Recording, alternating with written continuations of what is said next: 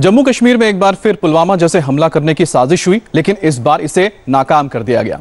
हमला इस बार भी पुलवामा में ही हुआ, लेकिन इस बार निशाने पर सेना की पेट्रोल गाड़ी थी।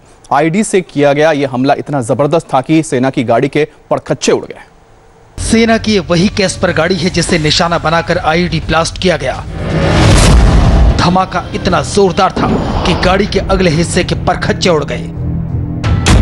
गाड़ी का टायर पूरी तरह से क्षतिग्रस्त हो गया।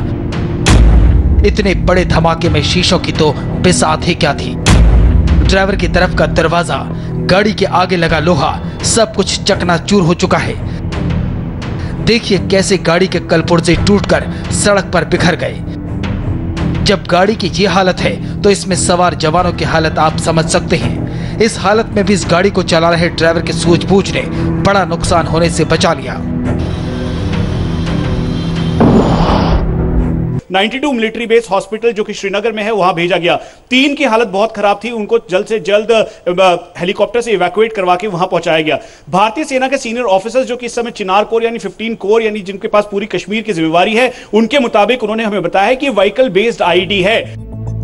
आतंकी एक बार फिर भारत को दहलाने की ताक में थे। वो बड़ी साजिश को अंजाम देना चाहते थे। हमले को पुलवामा के अरिहल के पास अंजाम दिया गया। सेना का वाहन जैसे ही अरिहल के ईदगाह के पास पहुँचा, उसी वक्त दूसरी गाड़ी में लगे आईडी से धमाका कर दिया गया।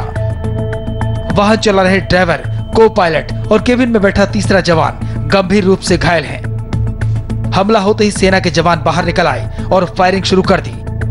हमले में सेना के जवानों के साथ साथ दो नागरिक भी घायल हो गए। रविवार की शाम जिस जगह पर हमला किया गया, उससे ठीक 27 किलोमीटर दूर, पुलवामा में ही जम्मू श्रीनगर हाईवे पर आतंकियों ने इसी साल 14 फरवरी को गाड़ी में आईडी ब्लास्ट करके सीआरपीएफ की गाड़ी को उड़ा दिया था, जिसमें 40 जवान शहीद हो गए थे।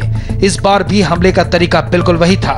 रविवार की शाम को जब सेना का वाहन गुजर रहा था, उसी वक्त दूसरी गाड़ी में आईडी के ज़रिए हमला किया गया। लेकिन इस बार आतंकी नुकसान नहीं कर पाए। इस बार नुकसान तो नहीं हुआ, लेकिन अगर ये आर्मी का कैस्पर व्हीकल नहीं होता तो बड़ा नुकसान हो सकता था। जिस तरह से गाड़ी के अगले हिस्से की चीथड़े उड़े हैं। वो बहुत खतरनाक संकेत दे रहा है। कैस्पर व्हीकल आईडी धमाकों से बचने के लिए ही बनाए जाते हैं। 1400 किलो की गाड़ी बड़ा आईडी धमाका झेल सकती है। कैस्पर व्हीकल 14 से 42 किलो तक का विस्फोट सह सकता है। अब आप अंदाज़ा लगा सकते हैं कि यह साजिश कितनी बड़ी थी। हमले के बाद पूरे इलाके में सर्च ऑपरेशन शुरू किया गया और इस बार भी साजिश की उंगली पाकिस्तान की तरफ़ उठ रही है।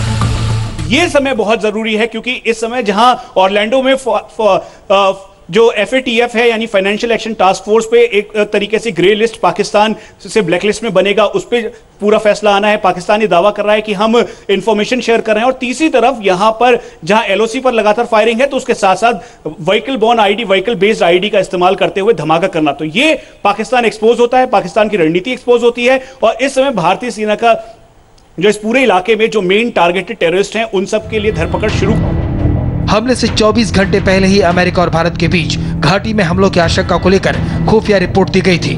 इसके बाद हमले का अलर्ट भी जारी किया गया था। पिछले दिनों आतंकी जाकिर मूसा की मौत के बाद घाटी में आतंकियों की कमर टूट गई है। इसलिए वो बड़ी साजिश करके लोगों का ध्यान भटकाने की फिराक में है। इसीलिए रविवार को आर्मी की गाड़ी पर यह हमला किया गया है। श्रीनगर में मजूर मीर के साथ मनीष प्रसाद इंडिया टीवी।